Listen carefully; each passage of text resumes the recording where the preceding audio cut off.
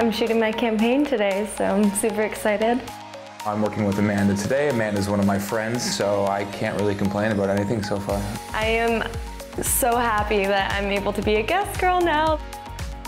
And Even when I was younger, all I wore was Guess. The very first time I worked for Guess was for the optics. I did a little skit on my social media about me wearing the glasses, and it was a good time. I love Guess Eyewear because they have so many different options. I like to wear them because I think they can add to an outfit. And also the colors are super amazing. They match the outfit so well, and I personally love wearing the style. If an outfit's boring, I'll throw on glasses.